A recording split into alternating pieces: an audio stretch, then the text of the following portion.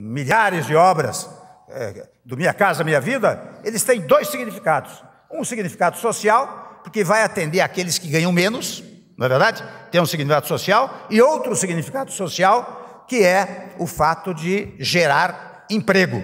E um terceiro significado social, que é fazer crescer cada vez mais a iniciativa privada, que é prestigiada e enaltecida pelo texto da Constituição Federal. Este é um governo que não tem preconceitos. Este é um governo que quer unir as várias classes sociais para construir o país.